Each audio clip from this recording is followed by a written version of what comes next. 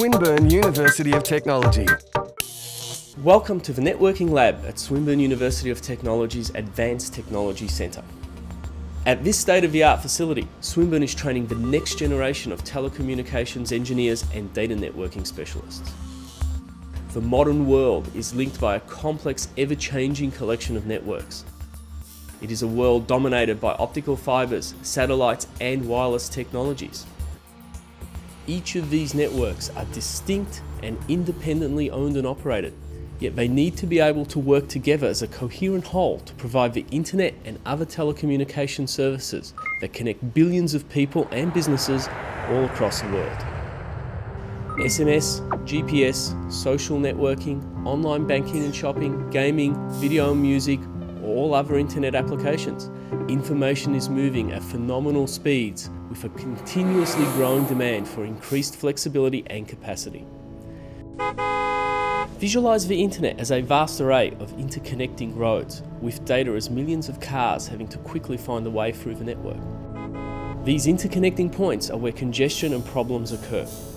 It is our job as network engineers to maintain the smooth flow of traffic through the network.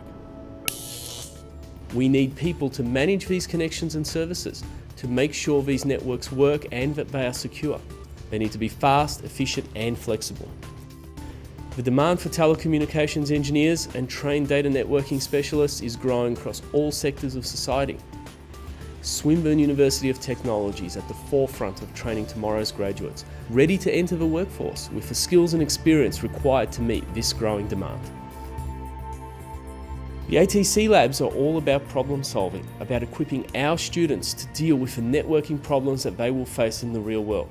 If a router goes down or an internet server goes offline, they need to be able to figure out what went wrong, how to rectify the problem, and prevent it from happening again. Each student workstation can set up, control, and enable learning on a wide range of emulated network environments and situations. This lab is equipped to create small networks or extremely large and complex ones. Students will gain the experience of dealing with a wide array of problems, and most importantly, this is not only theoretical knowledge.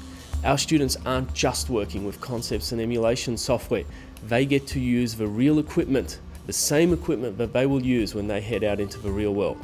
At Swinburne, we're about hands-on experience.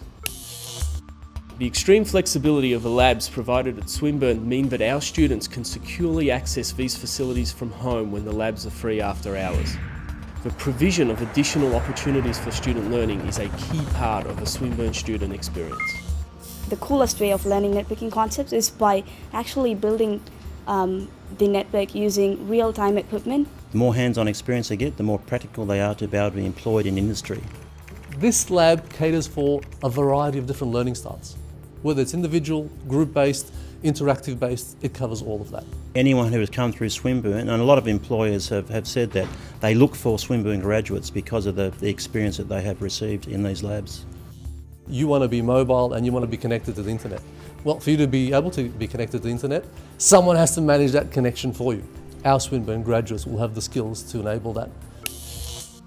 Graduates from Swinburne University of Technology are at the forefront of the next generation of networking specialists, equipped to deal with the problems of the complex networks of today and of tomorrow. This has been a Swinburne production.